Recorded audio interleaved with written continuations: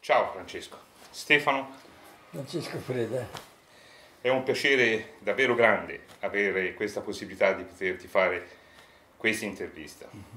Comincerei con qualcosa... grazie, grazie te lo dico anch'io però, perché insomma non- a me fa sempre piacere avere incontri nuovi, eccetera, quindi ti dico grazie per, per me e per i miei 68 anni di cinema. insomma, quindi sono 68 tanti, anni, tanti. sono davvero tanti. Delle volte io mi, mi fermo a riflettere sul passato e mi sembra di, di- di far parte di una pièce teatrale, insomma, quasi. no? E, e poi dopo mi rendo conto che il personaggio sono io, insomma, anche nel silenzio mio, insomma, nel silenzio di- in cui io vivo spesso qui, perché sono dopo la morte di mia moglie 11 anni fa io sono rimasto solo, e mi sono innamorato sempre più di Pistoia e sono rimasto sempre molto legato a Pistoia.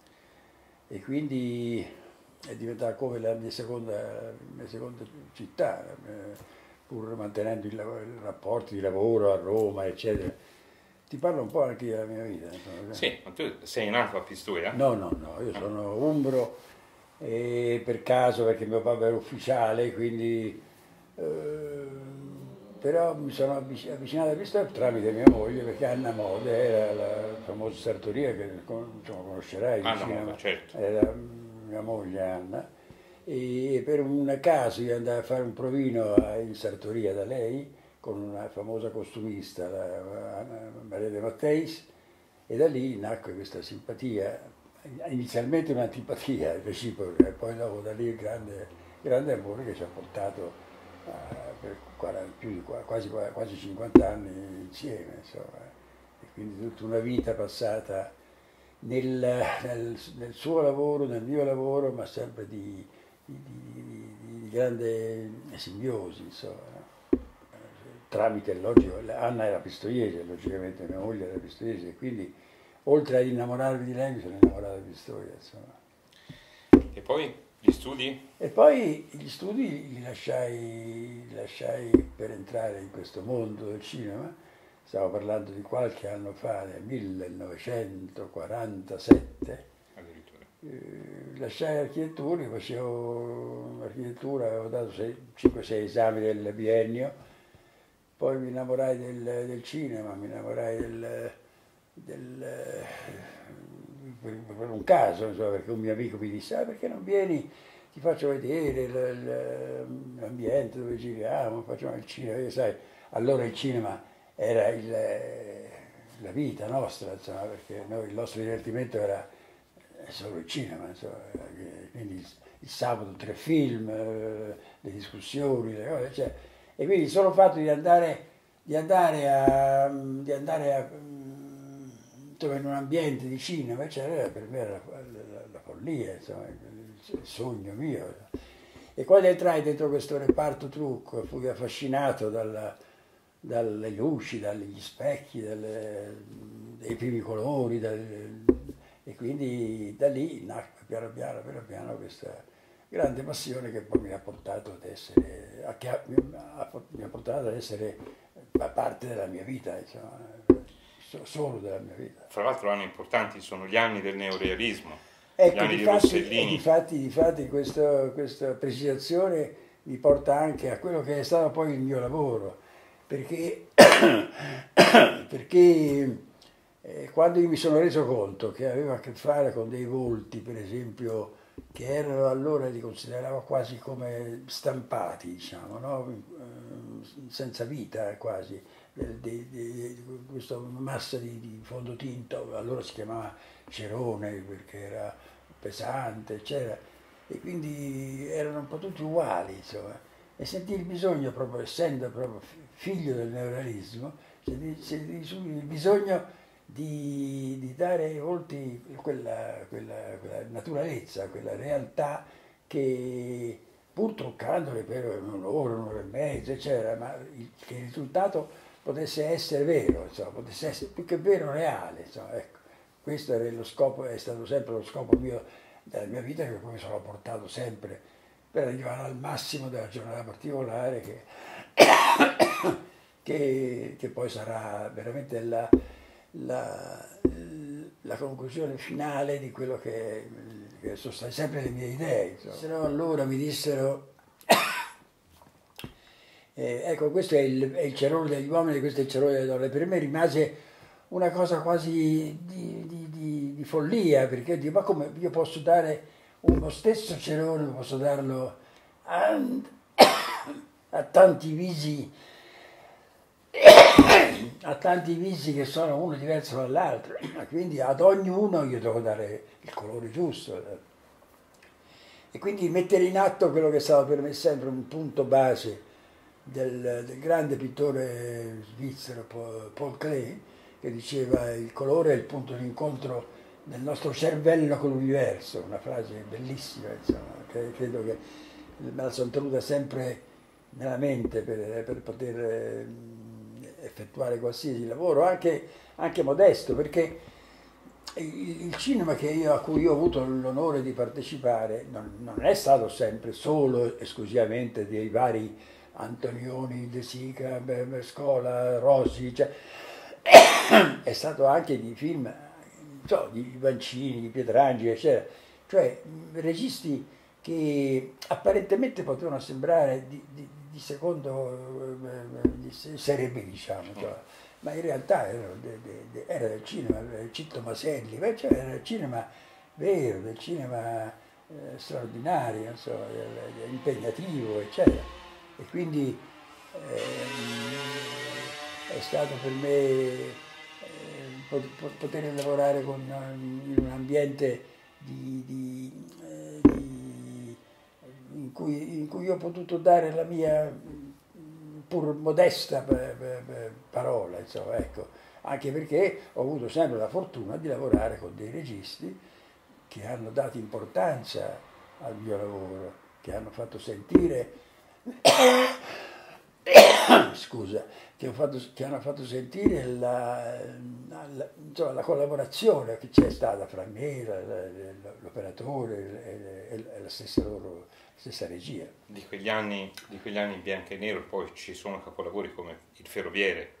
Ecco, appunto, per esempio, il Ferroviere, ecco, con Germi per esempio, ecco, nascevano poi, nascevano dei rapporti di qualità straordinari perché e di fatti tutti i, miei incontri con dei registi sono durati eh, diversi, parecchi film, cioè, certo poi dopo non è che li potevo fare tutti perché magari potevo essere occupato eccetera, ma con Gemma facevo l'uomo di paglia, il ferroviere, la, la, il figlio di Mastroianni, la, con, la, la Sandrelli lì, insomma, il divorzio all'italiano, cioè, insomma, tutti film che, ha, che, hanno cementato ancora più il rapporto con, con, con Germi e quindi c'era proprio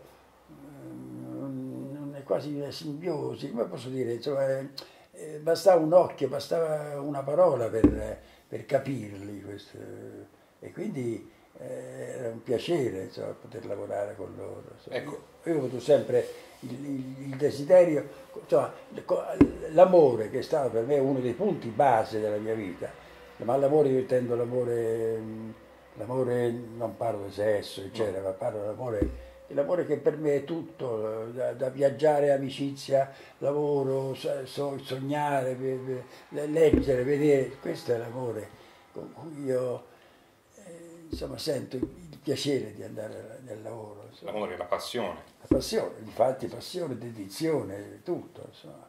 E, vivere, vivere nel nel, nel, nel, per il lavoro senza amore io non so proprio come si faccia perché eh, io ho considerato appunto l'amore sempre come punto centrale, come punto base qualsiasi, qualsiasi manifestazione, qualsiasi rapporto, quindi dalla, dalla, dall'amicizia, dal, dal lavoro, dal, dall'incontro, insomma, tutto a base di, di amore una scena si può rigirare se non va mm. bene, se l'attore si scorda le battute o comunque sia non interpreta il personaggio come vuole il regista.